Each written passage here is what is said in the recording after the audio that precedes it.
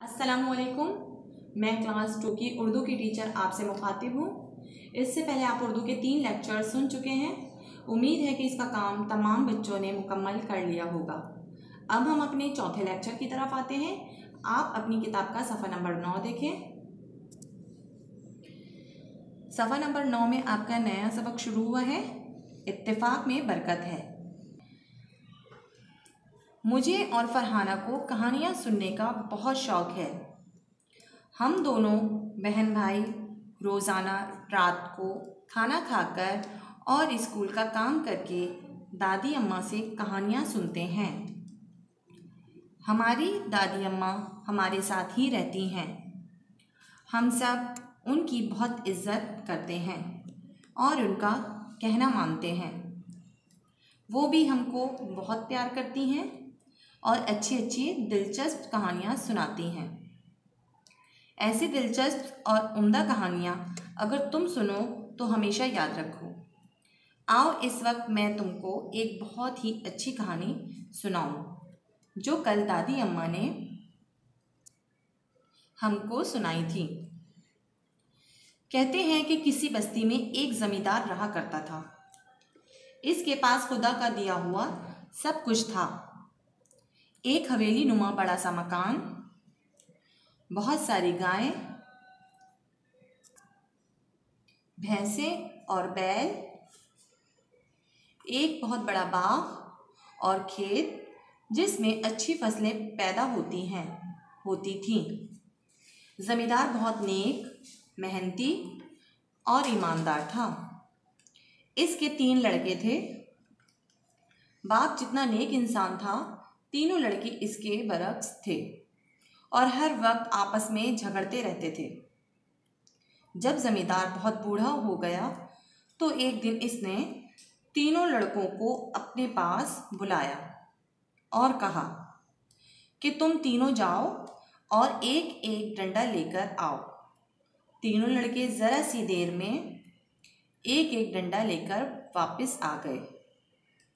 बूढ़े ज़मींदार ने एक रस्सी मंगवाई और डंडों को मजबूती से बांधकर बड़े लड़के से कहा, तुम मेरे बहुत बहादुर बेटे हो। ज़रा इस गट्टे को तोड़ना। बड़े बेटे ने बहुत कोशिश की, मगर वो घट्टे को ना तोड़ सका। बूढ़े जमींदार ने दूसरे बेटे की तरफ़ देखा और कहा, तुमको अपनी ताकत पर बहुत नाज है। क्या तुम इस गट्ठे को तोड़ सकते हो? दूसरा बेटा, जो बहुत ताकतवर था, इसने पूरी ताकत से गट्ठे को तोड़ने की कोशिश की, लेकिन कामयाब ना हो सका।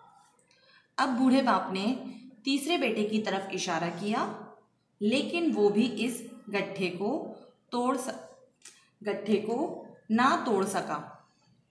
जब तीनों बेटे नाकाम होकर बैठ गए तो बूढ़े बाप ने गट्ठे की रस्सी खोल दी और एक एक डंडा तीनों को देते हुए तोड़ने के लिए कहा।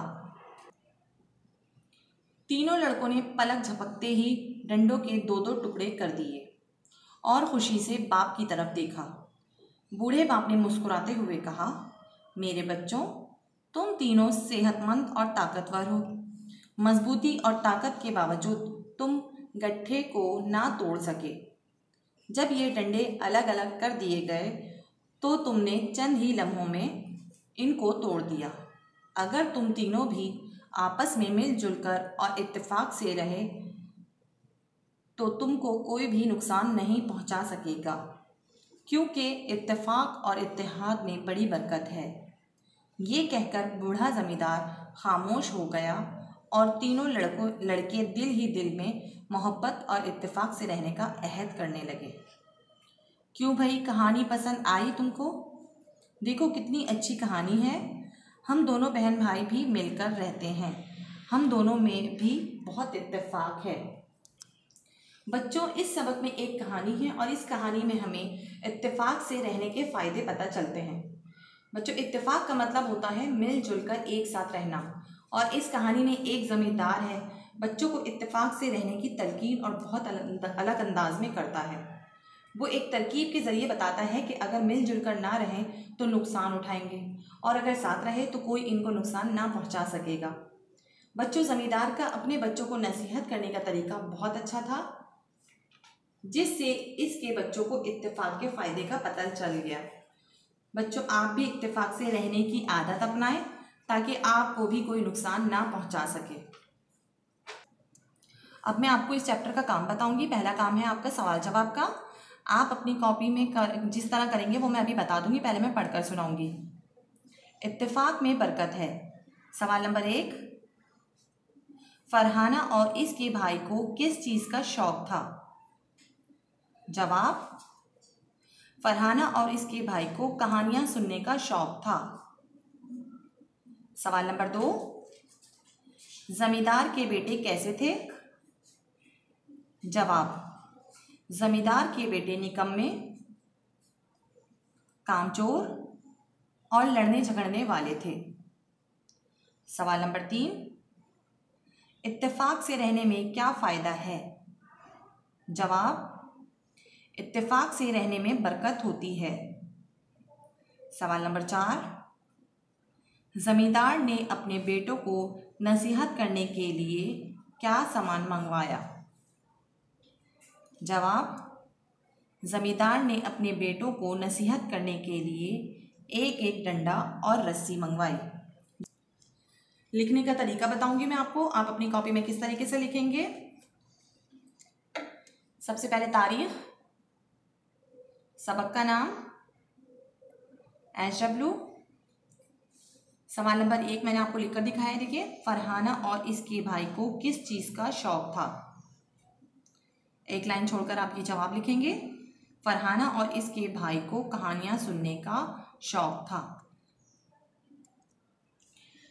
आपको सवाल बहुत ही, सवाल और जवाब, ये पूरा काम बहुत अच्छी राइटिंग में लिखना है स्पेस दे देकर। इसी तरीके से आपको मैंने चार सवाल पढ़ के सुनाए थे, इसका जवाब भी तो आप अपनी कॉपी में इस तरीके से करेंगे। आज आपका ये चौथा लेक्चर मुकम्मल हो गया है। जो काम इस लेक्चर में दिया गया है, वो लाजमी कॉपीज़ में करना है। शुक्रिया।